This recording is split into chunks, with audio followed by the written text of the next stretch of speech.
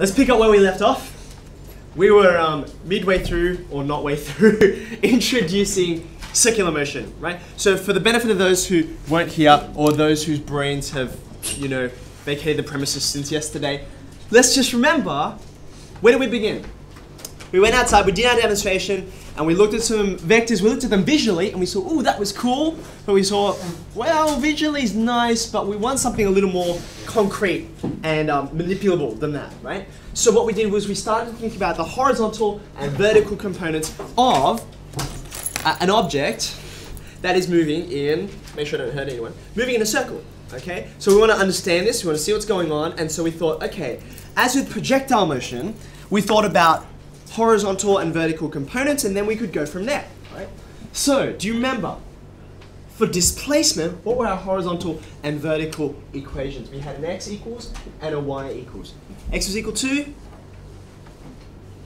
we thought parametrics, right? r times cos theta, we'll get to omega in a second, right? Omega comes in when we have to do the rate of change down to the next step. Conversely, y coordinate, you're going to get r sine theta. Good. So this is where we began. Now, as usual, when you go from displacement to velocity to acceleration, you're differentiating with respect to time. But then we noticed that that's not in terms of time, it's in terms of theta. So we had to do a little bit of chain rule fancy footwork, okay?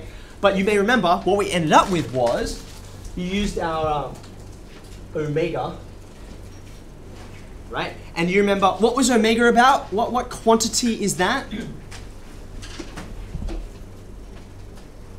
omega is about angular velocity, right? In other words, it's the change in the angle as you're going around, okay? So just to remind you, that was d theta on dt, okay? So we got this result, sorry, I should have said dx on dt. And then you can play the similar kind of game with y, your vertical velocity, right? And this is r sine theta, so you don't get a negative out the front. You're just getting r omega cos theta. Okay? So, I think that's where I left you yesterday, right? When you're going down the ladder and you're differentiating with, with respect to time again, you have to do the same kind of thing. You've got to introduce omega again because you're still not with respect to time. Okay? So, you're getting, this is the second derivative. We'll do the x's first. Okay. So it's just the derivative of this. Derivative with respect to time of minus r omega sine theta, right? The radius and the angular velocity in uniform circular motion, that's what this is all about, they're both constants. So I'm just going to rip them out the front. Minus r omega, okay? And simultaneously, I don't want to differentiate with respect to time. I want to differentiate with respect to theta right? So I do this, I say, well, let's make that with respect to theta. I've got a sine theta in there.